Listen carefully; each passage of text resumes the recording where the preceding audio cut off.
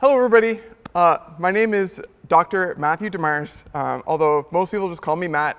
I am a professor, a teaching focused professor in the Department of Mathematics and Statistics, and I'm happy to be talking to you today. I would like to thank everybody for the opportunity to speak, and to the graduating class, I want to wish you every piece of congratulations for making it this far and dealing with some interesting circumstances that I think it's safe to say that none of us would have saw coming.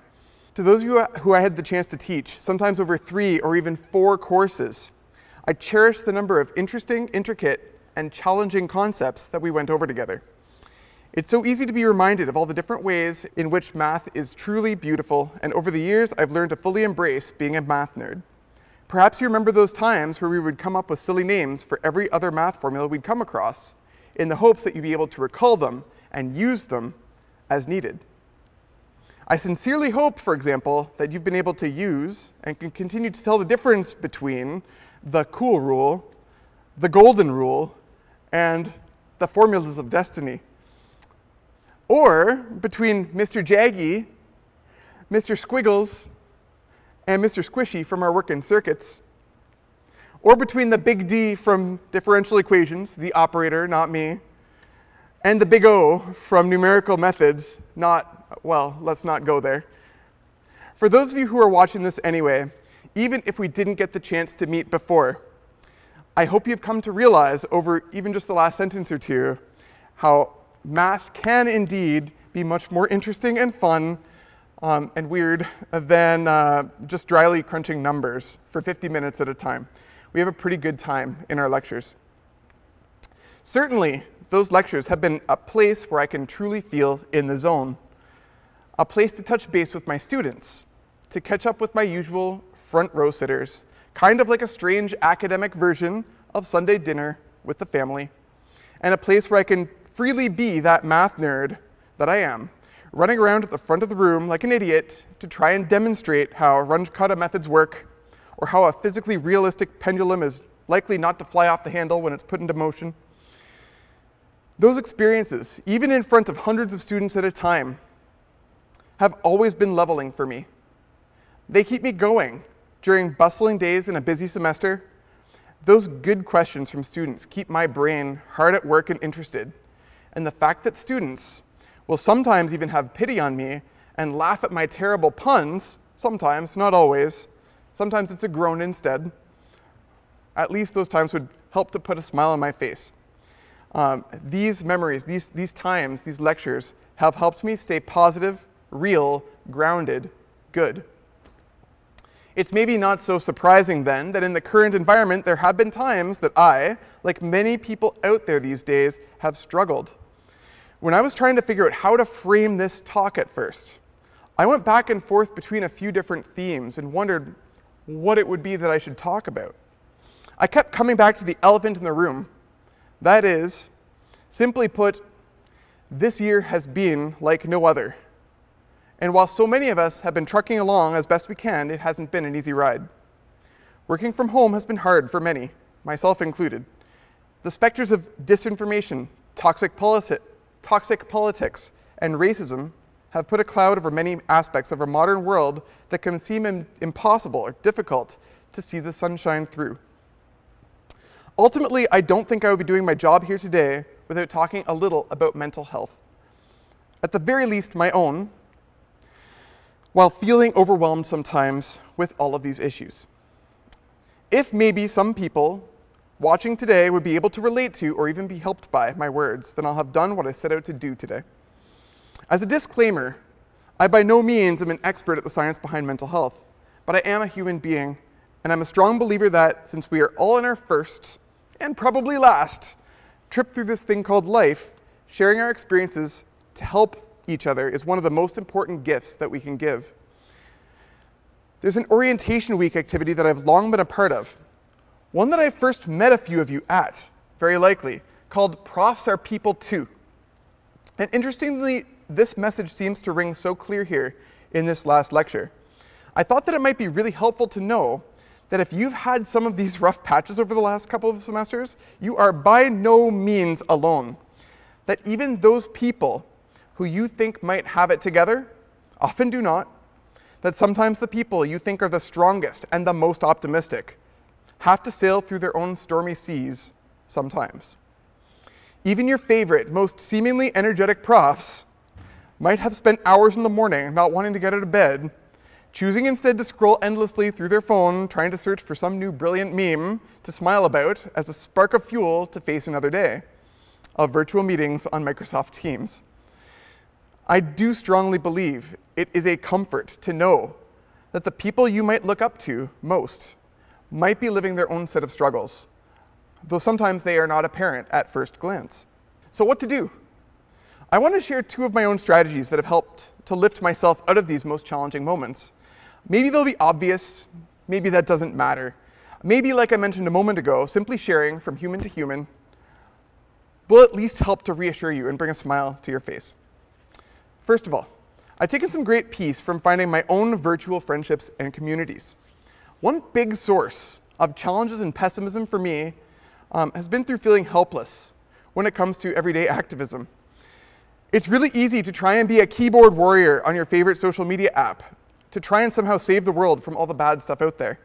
Sharing that perfect retort to your distant uncle's off color post might make you feel powerful or vindicated in the moment. But almost always, these efforts seem to fall flat or even backfire.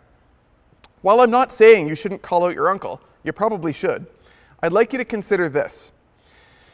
In my real analysis class, not to bring it back to math, but that's kind of what I am, we often talk about a, a neighborhood about a particular point to indicate a set that is near to that point. For example, a neighborhood of radius 3 about x would indicate all points that are at most 3 away from that x. In the real numbers, the neighborhood of radius 3 about the point 5 would be all of the points, all the numbers from 2 to 8. What I'm saying is, we all do our best when we share ourselves, our feelings, our values, with a small neighborhood about ourselves, some small radius of people that surround us in some way. In our everyday actions, being thoughtful and mindful of others' feelings, being kind and generous, sharing the positive values you hold, spreading optimism, even in the midst of those times that feels really tough, helping one another out without expectation, listening. These interactions, these conversations can have a profound impact, brighten someone's day if even a little bit, and most importantly, give both parties a chance to learn from one another, absorbing some of those positive ideas and values. I have gained so much from these kinds of interactions every single year when I meet new students from all over the world and all walks of life. I've come to realize that amazingly, this holds even in a virtual environment.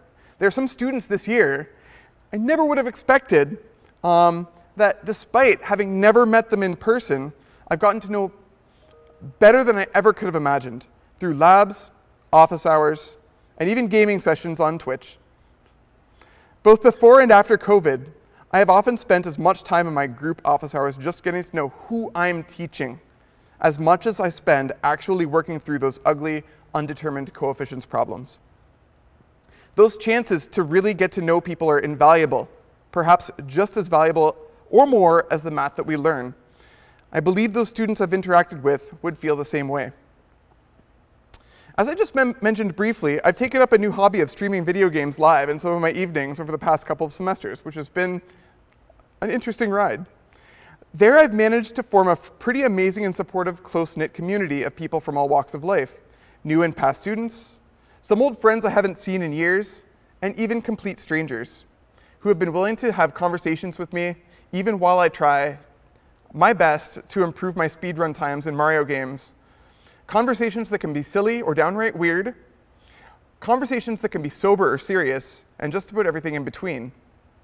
For some reason, food comes up a lot too, and I've often said that the topics that bring us together as humans are food and games. Anyway, those chats have helped me to find new neighborhoods for me to continue to share my own values with and to learn from even more people who, again, I've never even met in person.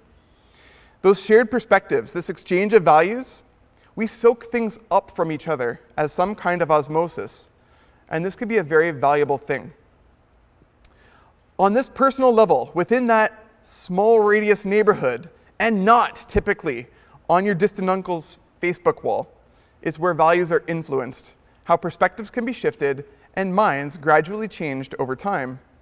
With our friends, our colleagues, and even our relationship partners and family members, we can gain and learn so much. We can help one another to remain optimistic, and hopefully, as a result, change lives for the better.